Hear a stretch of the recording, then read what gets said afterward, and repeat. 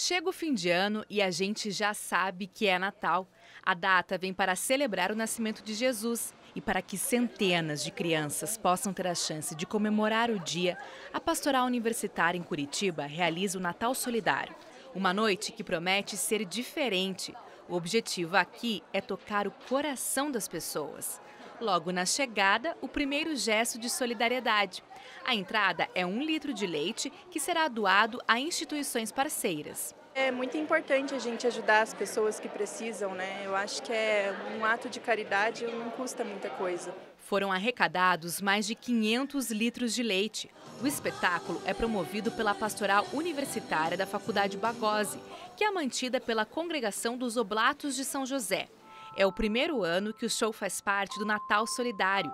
E mais do que promover a fé, a pastoral quer formar indivíduos mais justos e solidários. Além de educar a mente, como é o nosso slogan, a gente tem a ideia de educar o coração, que é educar os afetos, as relações, a possibilidade de envolver sentimentos também nessas questões. Então, a faculdade ela tem como missão educar o ser humano para o desenvolvimento integral. Então, nós temos essa realidade e a pastoral é esse braço que cuida realmente dessas atividades e também, por que não dizer, do cunho religioso da faculdade.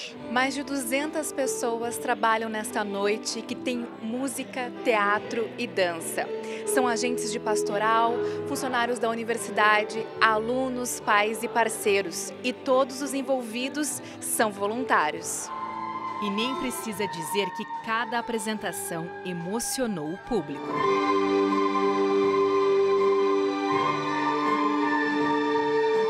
Estou achando bem interessante, né, a oportunidade de estar desfrutando desse momento, né, momento de arte, cultura. Eu sou músico também, gosto muito de música. O evento está sendo maravilhoso, muito bom mesmo. As obras sociais realizadas pela Pastoral atingem centenas de crianças.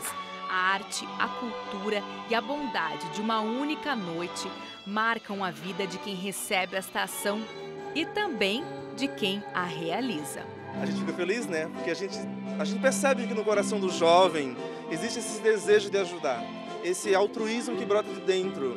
Eu acho que é um pouco essa missão da pastoral universitária, levar é, esse espírito de solidariedade, de onde as pessoas podem colaborar, podem se autoajudar e a missão da pastoral universitária hoje eu sinto que está cumprida nesse ano de 2017.